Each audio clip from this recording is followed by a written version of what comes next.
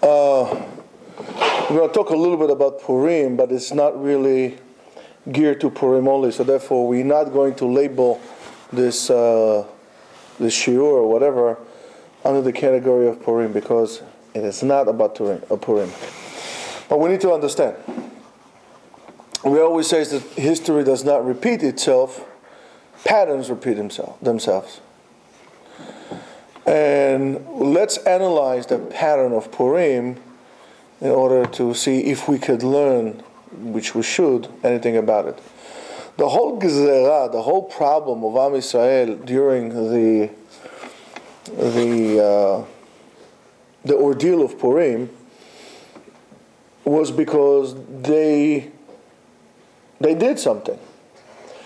And what they did was they said what was the straw that broke the camel's back was the fact that Achashverosh made a party. And of course, the party was uh, the celebration of his miscalculation to the time of when the uh, when the Jews will be uh, saved from this exile. Saw that the time came the Jews were not uh, saved, so therefore he celebrated that, and therefore they were punished. The Jews were punished because of that. The question needs to be asked: Okay, so what was the big deal? What was it that they were punished? After all, we do know that the feast that uh, Achashverosh did was a, a glatt kosher meal. It was everything kasher lemehadrin. There was no eating treif and so on and so forth. So, what was wrong? What was wrong with that? And we always refer to the to the two uh, redemptions of Am Yisrael, both Mitzrayim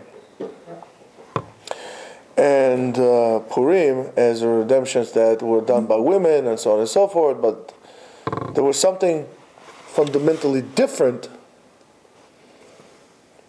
between the ordeal in Egypt and the one in Mitzrayim. The one in Mitzrayim, we know the Jews almost entered every gate of impurity, every gate of tum'ah. According to some chachamim, they were much of the avodah zarah. The Midrash says, "Halalu, avodah zarah." These are idol worshippers. These are idol worshippers. The malachim are referring to Am Yisrael, and yet they were saved.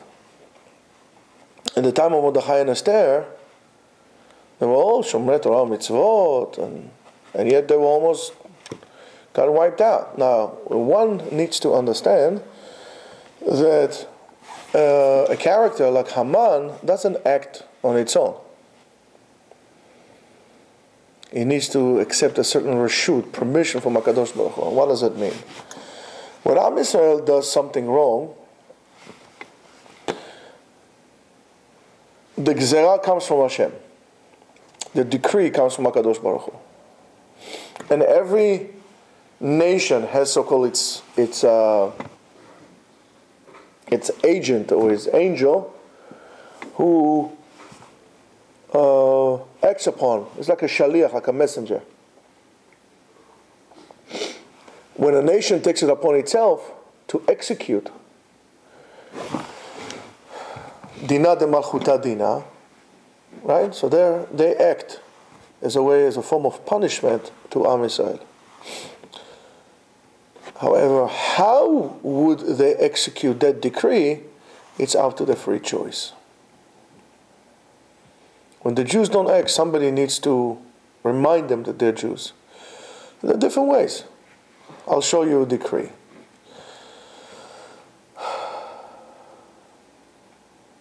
Even today,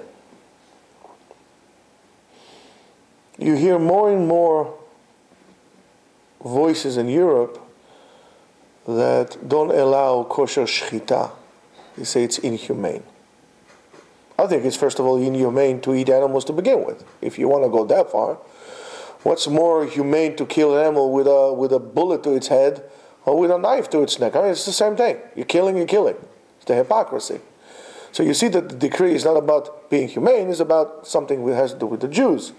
So it started in countries like uh, Holland and, and so on and so forth, and it goes to Denmark. And now even in England, the Jews felt safe because they thought, oh, we have political power. You know, we are, we, we are strong in England. Even now there are voices in England that wants to abolish kosher shchita. And that's a form of decree. Based on how you execute that, right, the fact that, let's say, if I would uh, excommunicate somebody here, right, they can put me, file a lawsuit against me, that's also a form of oppression. I'm not free to practice my religion to its full extent. Right? Like examples, as we had mentioned previously, like, you know, where we were learning the Mishnayot. There's some things I cannot do in this country.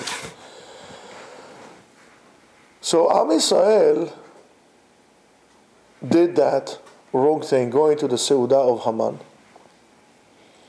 And the decree came, and Haman, uh, I'm sorry, and Haman decided to act upon it, and therefore to abolish Am Israel.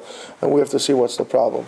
The problem is that in, we said before, in Egypt, they were idol worshippers. However, they kept the desire to be Jewish, even their avodah zarah they did as Jews. And we know, as the Midrash tells us, the Gemara tells us, they kept their name, they kept the clothing, they kept the language. These are the foundations of a, of a culture. If you want to destroy a culture, take away their national identity, take away the language, the names. So instead of uh, instead of speaking Apache and calling your son Cochise, you're going to give him English and you're going to call him uh, Johnson. And now you took a Indian and you made it into a something else. It's re-education. So they kept their names. They kept the language, they kept their identity as Jews. They were they kept their identity as Jews. However, at the time of Achashverosh, they kept the mitzvot. They kept the, the, they learned the Torah and so on and so forth. But they didn't really want to do that. They were always looking into the plate of what happens on the other side. There was no Jewish pride in what they were doing. They were more interested in, in hanging around in, in balls and in parties and, and, and feasts and, and ceremonies and actually to sit down and to find the chedva, the joy in developing your own culture, your own identity, and so on and so forth. It's like a person. How does how would the father feel if he's asking his son-in-law because he hears that things are not so well? And his son-in-law says, you ask him, no, so what's the story? You gonna you want to divorce my daughter or something? So he said, no, I don't. So, but I heard things are really bad. You, you guys don't talk for like a year. He said, yeah, so why won't you divorce her? So he said, listen, you know, I like you. You have a lot of money.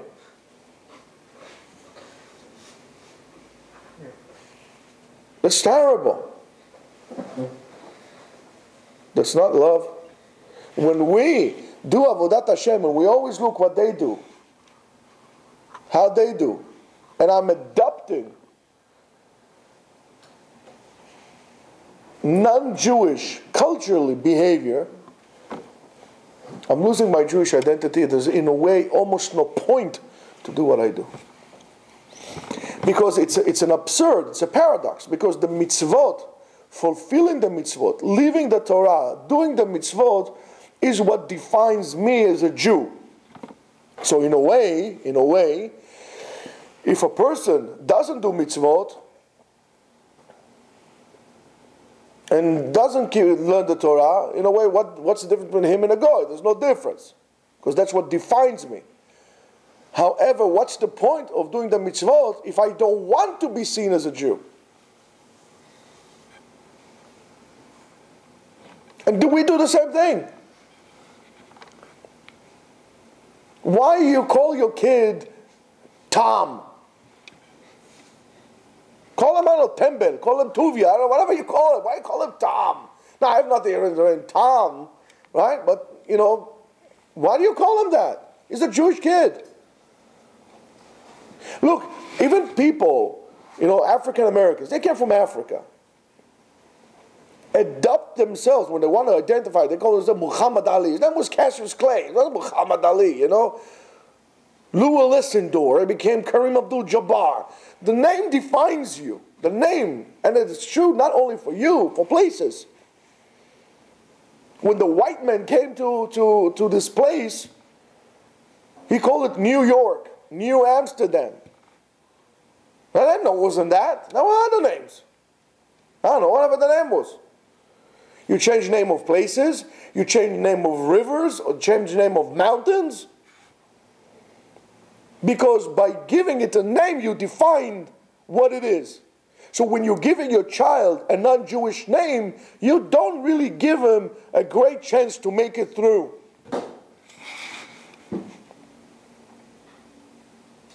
I mean, I know the name Lawrence sounds majestic. But call your, your son, uh, I don't know what, uh, Reuven. Why you call him Robert? Call him Rachamim, I don't know, whatever you call him. But why those names? Because it said something. You don't want your kid to be associated as a Jew, therefore you give him a non Jewish name. And then you change your name from, uh, I don't know what. Uh, Give me a name. I don't know. Huh? From from uh, from Leibovich, you make it uh, you make it uh, I don't know what Smith. Not the call yourself Leibovich. Not the Leibovich is a is a, a Jewish name in terms of the translation of it. However, Jews have the name Leibovich. Or call yourself, you don't like Leibovich, call yourself Lev, heart. Find a Jewish name, Hebraize your name. There's nothing wrong with that. Your last name is, I don't know what, uh, Aish, call yourself Aryeh. It's an identity.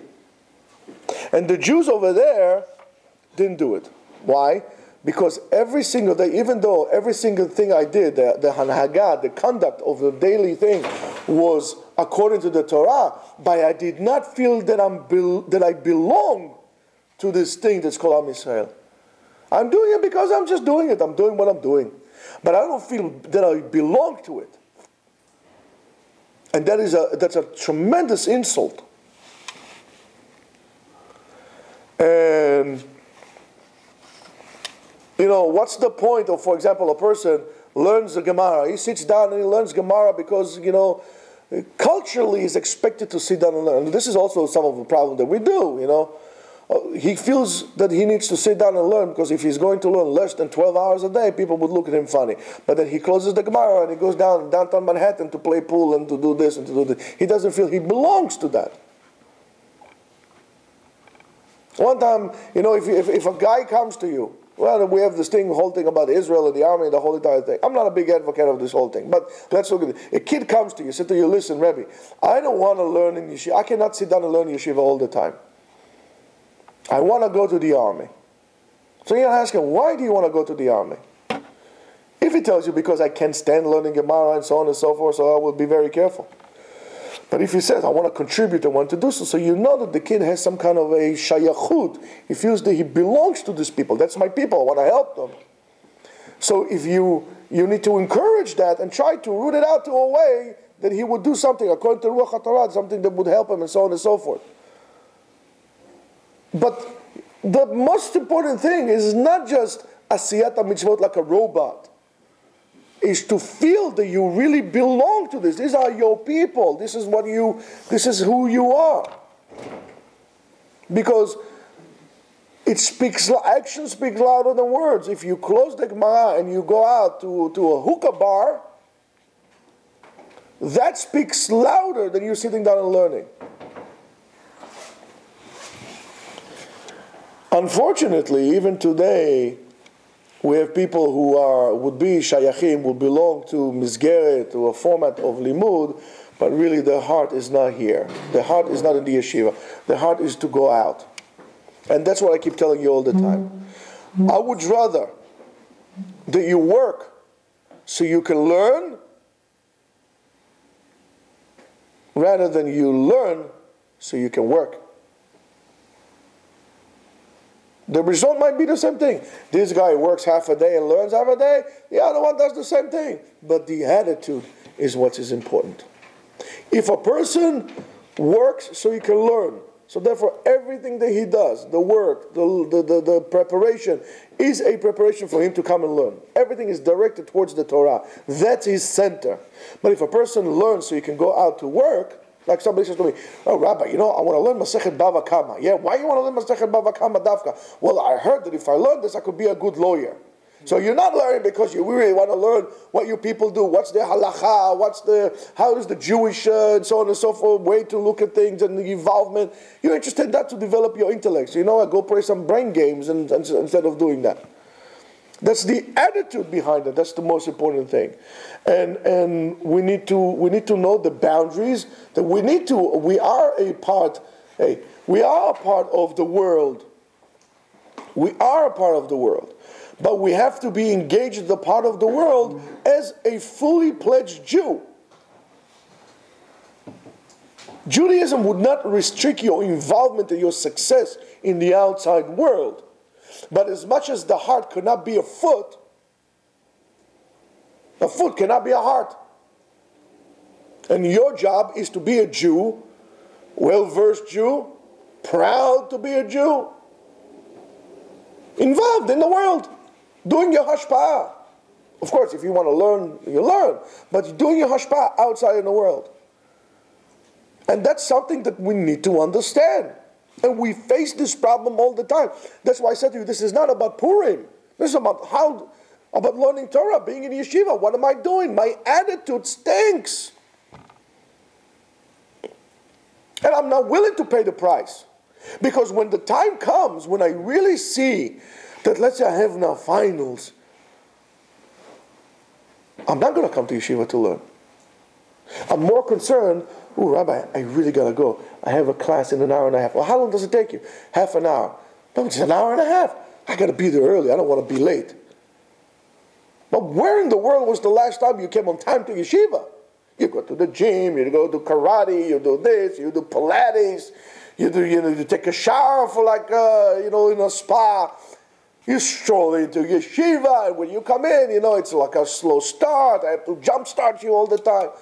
You don't come in with this oomph. I'm coming to learn. Let's go. Let's roll. Let's take the stuff out. Let's go. And when I'm learning, you're not learning with a full heart. I'm learning. Maybe I get some college credits and the this and the that. You're not thinking about what's going to happen to you. You're not thinking about what's going to happen to your children. Don't hide that. No, no, you know, you know, no, yeah, yeah, yeah, yeah, yeah, yeah, yeah. Code word Olga, right? You know what I'm saying? It's not the same attitude. And, and, and you know what? It, it has to do a lot also with the way you are outside. The outside influence the inside, the inside influence the outside. And the way you dress, and the way you talk, and the way you conduct yourself. That has an influence on your inside as well. It's, it's, it's, a, it's a cycle. As much as if you're feeling sad, you could be in great health, you know, physically, but if you're sad, your spirit is down, your whole body becomes like a mush. And you could be physically ill, lo aleinu, but you spiritually awake and you have more power to you know an 80 year old that has a good attitude can achieve more in life than a 20 year old that his attitude stinks it's one influence the other so do you need to be very careful about the way you look? You know what? There's no need. We are not we're not Iroquois and we're not Mohawks and we can we should not wear Mohawks. Ah, haircuts. I have nothing against afros. If, you, if that's your, you know, that's your culture, that's goes on. Go, good for you. Wear afros. Actually, I think it's nice. Nothing wrong with that. But not for a Jew. Because for us, creates a problem. I, I put that feeling has to be on my head. I'm committed to this kind of life that there's no, there's no such thing for me that Judaism is a part of my life. as much as everything else is a part of my life. Going out is a part of my life, having fun, playing tennis, playing golf, uh, going to uh, to the Caribbeans, going to and so on and so forth. It's a part of my life. I have different parts of my life. I have a little the cake that's called my life, and different compartments. So everything is somewhere along the line, big or small. There's a little sliver. It's called Judaism. It's a part of my life. That is wrong. Judaism is your life. And everything that you do, you do as a Jew. Not you should. You do it as a Jew. That's a commandment.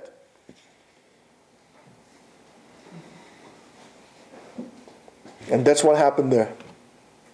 So when you learn, a person needs to understand the Torah is a, is a bubbling brook. Ma'ayan Novea. It's a bubbling brook. It's Mekor Chaim. It's a source of life. It's the water that we drink. Outside is the desert. We need to understand that a person needs to understand that the kesher, the connection to the Torah, is the way he's going to act his life. The true pleasure, the uncommitted pleasure that you'll have, right? The, the unspoiled pleasure that you'll have is, is the pleasure of sitting down and learning. And for me, yesterday, it was really amazing. Some of you guys will learn Masechet Eruvin. It's not an easy Masechta, very difficult concept, and so on and so forth. And yet, there were some people that I spoke to people before, and they, they, they dismissed the fact that these people could ever learn Gemara. And there were people here that were explaining subjects, topics in, in this Masechta like a pro.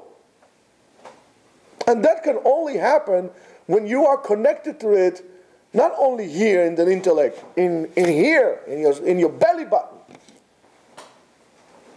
And this is just the beginning. But this is your test. And the test is every single day. And there's no reality besides the reality as it comes out from the Torah. Rav Ben Zion Shalom used to say that it's not that you need to explain the Torah according to science.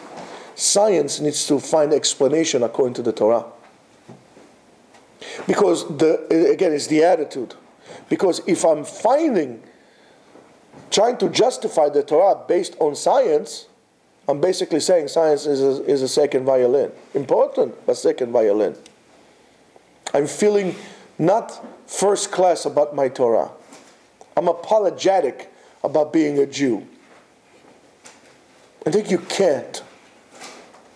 And as a Jew does certain things, the Jew doesn't do. And what's this whole thing that I hear that people have now bachelor parties before you get married? What kind of a garbage is that? And all these traditions that are not Jewish. The Jewish celebration of, of, the, and the preparation of the chuppah and the bride and, and the groom are beautiful. People would pay money to have such traditions the shomer. Look at the difference. Some people go to bachelor parties and bar minan what they have there. If I was a kala and my and my chatan a night before we're getting married, we'll go to a bachelor party. I will divorce this punk. Lech I don't want to see you. But you're going to prison. On the contrary, a Jewish chatan has a shomer, somebody that understands. We understand the danger, the spiritual danger of almost letting go. You have somebody, a good friend of yours, he sits down with you, you learn at night. You sit down to, some people stay up all night, some people stay up as far as they can, as much as they can. You stay up, you learn. You sit down, you learn. If you have one or two, you put your, you make your tzitzit of your talit that you're going to make tomorrow, bracha on. You put the tzitzit together. The symbolism is great. The details, that great details, that great symbolism in the small details, this is the spice of your life. And when you drive your cars, you need to drive your cars like Jews. And you need to dress up like Jews and act like Jews. And we are not Uzbek. And we're not Polish. We're not Turkish. We're not Spanish. We're not German. We're not Austrian Jews. We, we're not. We are Jews. Don't forget, that was the claim of Haman. There's one nation who is spread and, and spread up all over the place and is divided among itself. That allowed him the opening. And we allow this opening all the time. And the Torah is what puts us together. The Torah is the same. Shulchan Aruch is the same, whether you printed it in Poland or you printed it in Morocco. When you read Tosfot, you, you don't say, excuse me, Tosfot, they're from France. I don't, I don't read them. Look at the beautiful thing we have. I told you this. Every Jewish community has its own form of chulent, but everybody makes chulent. That's why it's important to eat hot meals on Shabbat. Don't be lazy. Make something. Make something out of your life. Make something out of the Torah. The Torah is the glue that puts Am Yisrael together. Therefore, the Torah should not be what breaks Am Yisrael apart. If a person learns Torah and is a dividing factor, either he's not a Jew or he doesn't learn Torah appropriately. One of the two. A person who is a Ben Torah puts it together, puts Am Yisrael. This is the core in which we all, and that's why when Akadosh Baruch Hu gave us the Torah in Har Sinai, we all gather down together, machane, group. We all gathered together around the mountain, and we all received it at one time. So Rabotai, don't make the mistakes that they make. And I'll call upon you now, a challenge, to start living your life from this point and on as proud Jews. Don't be afraid to announce your Judaism. Don't take your kippah down. Grow your beards. Dress up like Jews. I know Sfaradim, we put the tzitziot inside. But if this will do it to you, put your tzitziot outside because it's a strength for you. You are daring to make a statement, I'm a Jew. And don't forget to act like one as well, not dress up like one. But you understand the meaning and the importance behind it. You do that, it's very simple. You'll be saved. You don't do that, you have a problem. Have a great day.